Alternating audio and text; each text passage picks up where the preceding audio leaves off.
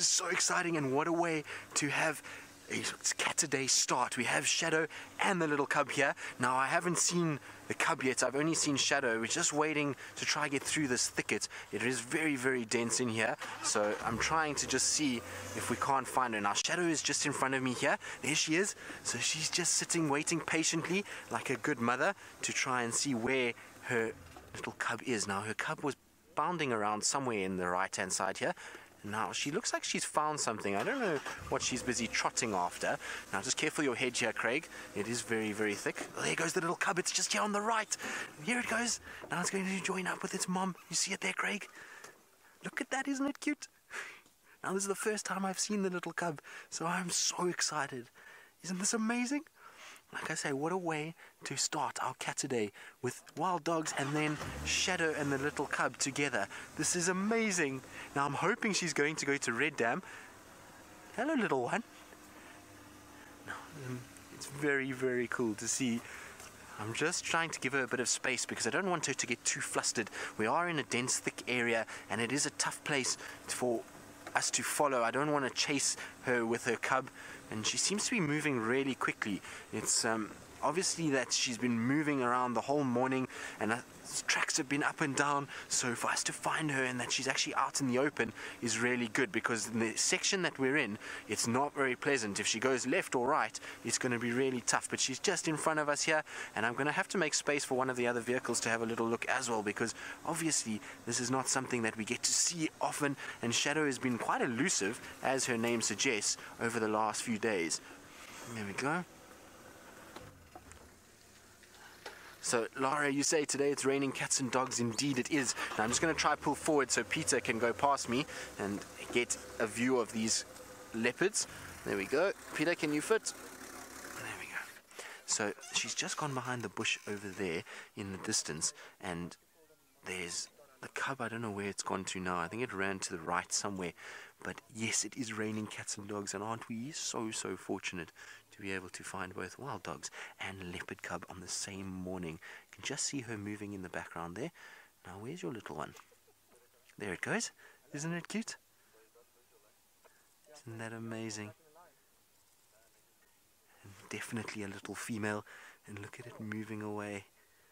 How amazing is this? I wonder if they're not going to go to Red Dam, and I'm hoping if they do go to Red Dam that they're going to end up going for a little drink and we'll get them right out in the open. That would be just the most special way to spend our morning. Now I'm going to just try to see if I can't go in behind Peter here. Uh, she is moving into a very, very dense area. It's the same area where we were trying to find Tingana yesterday, and it's not an easy place to go. It's a place that we have to be a little bit kind of wary of, and if she gets into that thicket, the chances of us being able to follow are going to be very, very slim. So let's just try and stay, sort of give her some distance so that we don't push her into that thicket, but she's being typical Shadow in that she's walking as quickly and as fast as she possibly can, which is always a trait of this particular female. She likes to move and get into these sort of dense areas. You can see the little tail of the cub on the right hand side there just twitching. It's getting so big now from the time James saw it, where it was a tiny little fluff ball, to this is amazing. Now, we've had a bit of a leopard drought the last few days. This is certainly a way to break that drought. We are being absolutely spoilt this morning.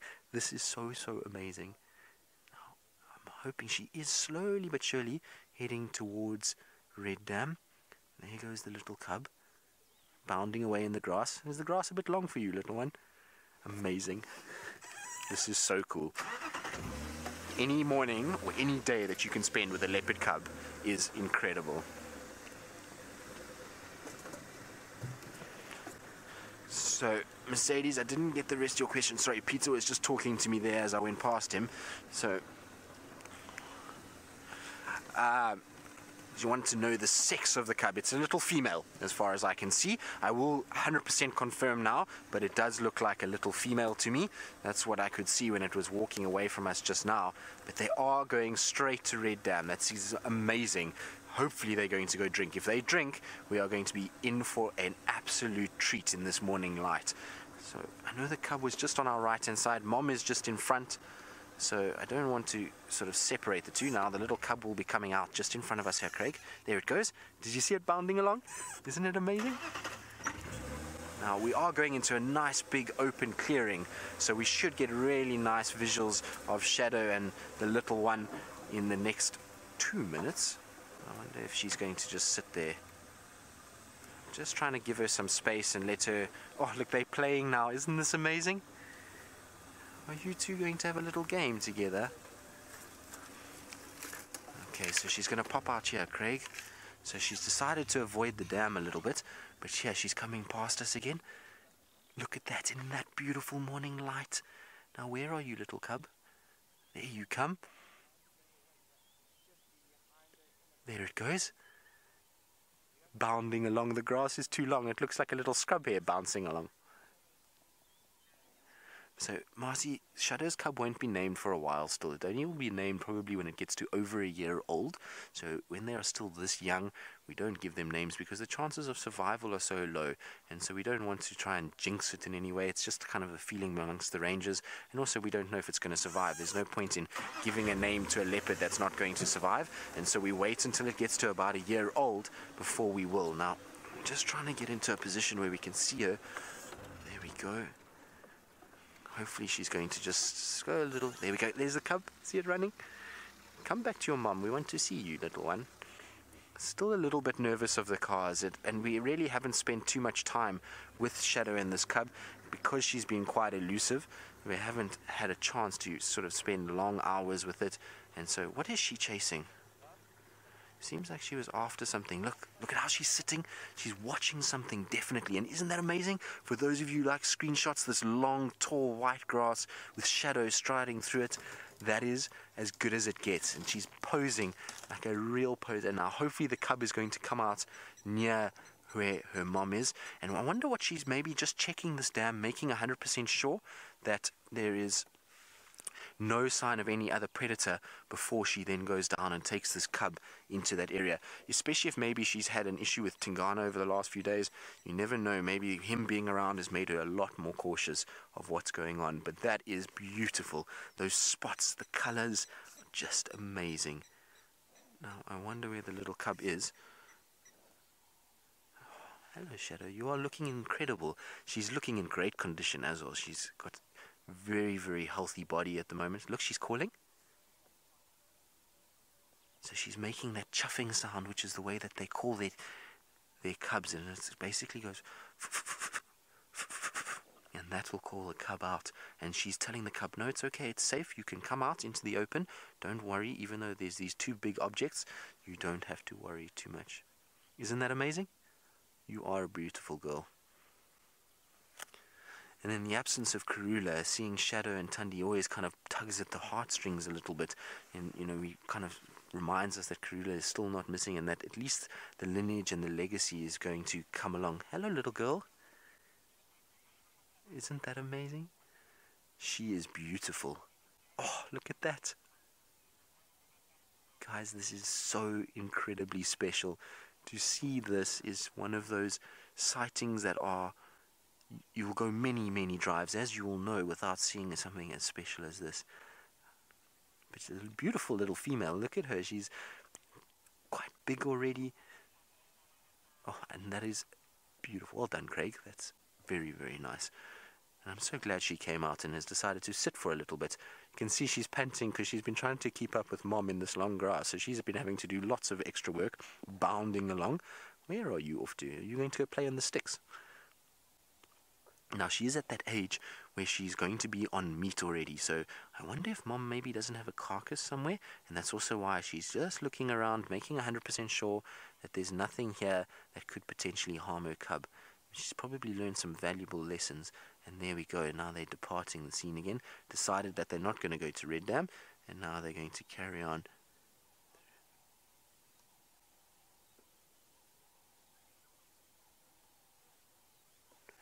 There she goes. So, John, the cub must be now, where are we? We're in May, so the cub is about five months old.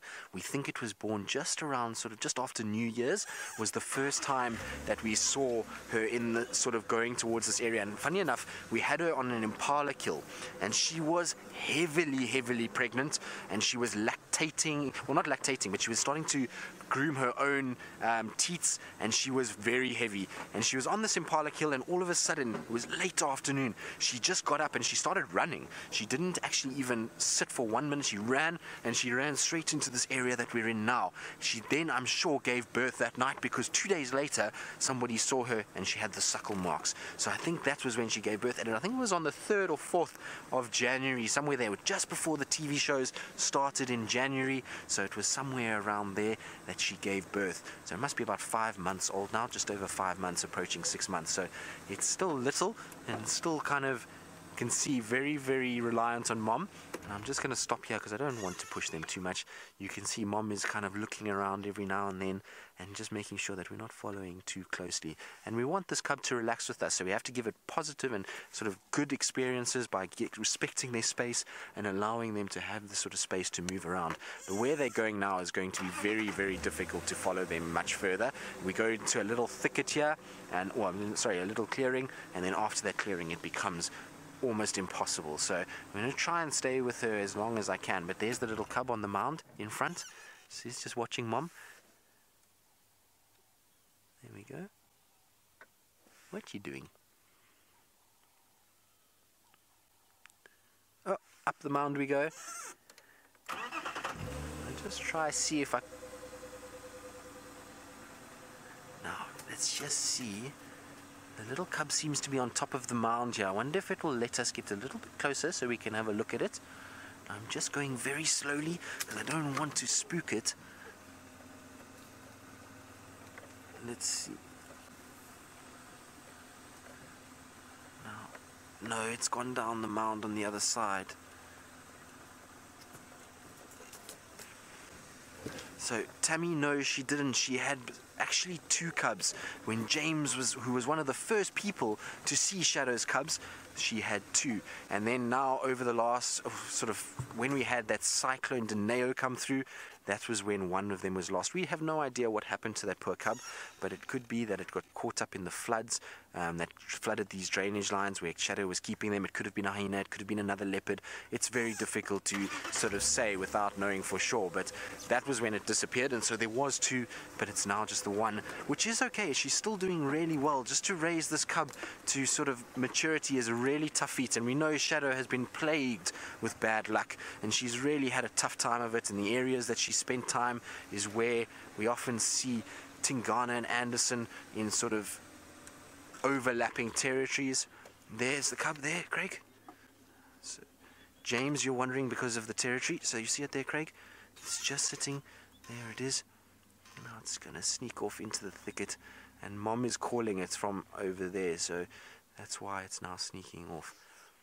But yeah, the territory that she sits in is not in a great place. She's on the sort of divide between Anderson and Tingana, and sometimes other even young males that we've seen in these areas. And that means that she's often, unfortunately, getting caught up in the and the male leopards are killing her cubs. So she's had a tough time of it, but only as time goes, she's starting to kind of work it out. And I think now with Anderson and Tingana having quite set territories, hopefully she'll be alright. She's been pushing very far to the east and spending a lot more time in the eastern sections, which is great because where Tingana is dominant, and we think Tingana is the male for this, or is the father of this cub. Don't know for sure, but we think so. And the fact that Tingana was seen in this area yesterday, and the tracks for the cubs and her were here, means that probably she's comfortable with the fact that he's around, and the fact that she's brought the cub here means that she's okay with Tingana. Now, I see them moving down in the dip there. I don't know if we're going to be able to actually follow them and stay with them, but we are certainly going to try our best. There are quite a few vehicles that do want to come in, so we're going to probably have to limit our time with Shadow and Cub, which is unfortunate, but it is what it is. And sometimes, you know, just to be able to see them is special. And I think we've had amazing views. Right, now we're going to try see if I can't get in here and try get a better visual. And while I do that, let's go to James and see how he's doing.